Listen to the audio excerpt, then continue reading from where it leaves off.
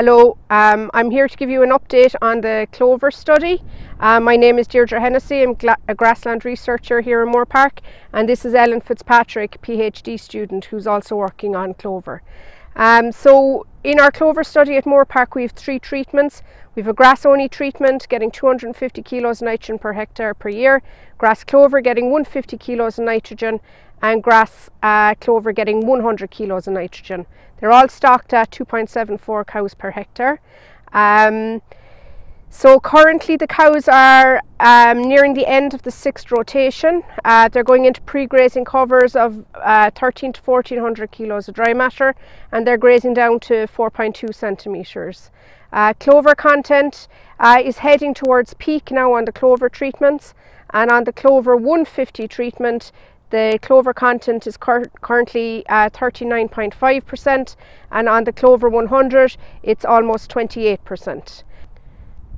Year to date the grass 250 treatment has grown 8.3 tonnes of dry matter per hectare and the grass clover treatments, both of them, they have grown 8.4 tonnes of dry matter per hectare. Um, Ellen's going to fill you in now on um, the milk production um, at the moment. Um, in terms of milk production, the Clover 100 treatment group are currently milking 21.9 kilos of milk. This includes uh, 1.95 kilos of milk solids and a fat percentage of 5.14% and a protein percentage of um, 3.84. The Clover 150 cows are currently milking 22.33 kilos of milk. Their milk solids are 1.92 kilos. Their butter fat is 4.9 and their um, protein percentage is 3.79%.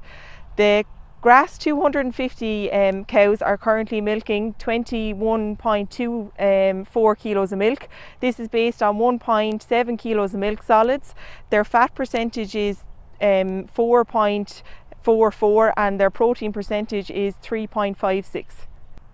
This week our um, measurements involve carrying out an individual dry matter um, intake estimation for each of the cows. This will give us an indication of dry matter intake between each of the different treatment groups. Thank you.